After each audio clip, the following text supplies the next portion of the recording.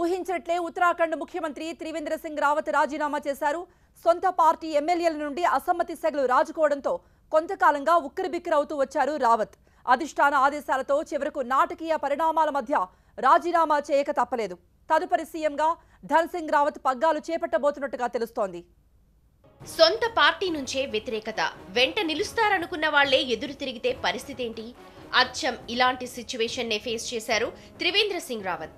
ఎమ్మెల్యేలు పార్టీని బుజ్జగించేందుకు ఆయన చేసిన ప్రయత్నాలు ఫలించలేదు. చివరకు పదవి నుంచి తప్పుకోవడం తప్ప మరో మార్గం లేకుండా పోయింది. వచ్చే ఏడాది అసెంబ్లీ ఎన్నికలు జరగనున్న ఉత్తరాఖండ్ రాజకీయాల్లో అనూహ్య పరిణామాలు చోటు చేసుకున్నాయి. సొంత పార్టీ నేతల నుంచి వ్యతిరేకత రావడంతో ఆ రాష్ట్ర ముఖ్యమంత్రి త్రివేంద్ర సింగ్ రావత్ పదవి నుంచి తప్పుకున్నారు. రాష్ట్ర గవర్నర్ బేబీ రాణి మౌర్యను కలిసి తన రాజీనామా లేఖను సమర్పించారు. రాజకీయాల్లో తాను ఎంతో కాలంగా పనిచేస్తున్నానన్నారు త్రివేంద్ర సింగ్. నాలుగేళ్ళ పాటు రాష్ట్రానికి సేవ చేసే సువర్ణావకాశం లభించిందని తాను చిన్న గ్రామం నుంచి వచ్చానన్నారు. కింద స్థాయిలో ఉన్న కార్యకర్తలకు కూడా ఇలాంటి గొప్ప అవకాశాలు రావడం కేవలం బీజేపీలోనే సాధ్యమని ఇప్పుడు అదే పార్టీ ఈ అవకాశాన్ని మరొకరికి ఇవ్వమని చెప్పిందన్నారు. ఈ పదవిని ఎవరు చేపట్టినా వారికి సహకరిస్తానన్నారు రావత్. రావత్ నాయకత్వంపై రాష్ట్ర బీజేపీ నేతల్లో కొంతకాలంగా అసంతృప్తి నెలకొన్నట్లు ఇటీవల వార్తలొచ్చాయి. సీఎం మార్పు కోరుతూ కొన్ని రోజులుగా కనీసం పది మంది పార్టీ ఎమ్మెల్యేలు మంత్రులు ఢిల్లీలో మకాం వేసినట్లు తెలుస్తోంది.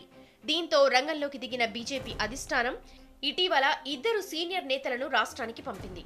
రాష్ట్ర కోర్ సభ్యులతో సమావేశమైన వారు ఆ నివేదికను బీజేపీ జాతీయ అధ్యక్షుడు జేపీ నడ్డాకు సమర్పించారు. మరోవైపు రావత్ సోమవారం ఢిల్లీ వెళ్ళి బీజేపీ అధిష్టానాన్ని కలిశారు. పదవి నుంచి దిగిపోవాలని పార్టీ పెద్దలు రావత్కు సూచించినట్టు తెలుస్తోంది.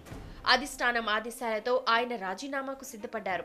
రెండు వేల పదిహేడులో జరిగిన అసెంబ్లీ ఎన్నికల్లో బీజేపీ విజయం సాధించడంతో త్రివేంద్ర సింగ్ రావత్ సీఎంగా బాధ్యతలు చేపట్టారు. రావత్ స్థానంలో ఎమ్మెల్యే ధన్ సింగ్ రావత్కు రాష్ట్ర పగ్గాలు అప్పగించనున్నట్లు తెలుస్తోంది.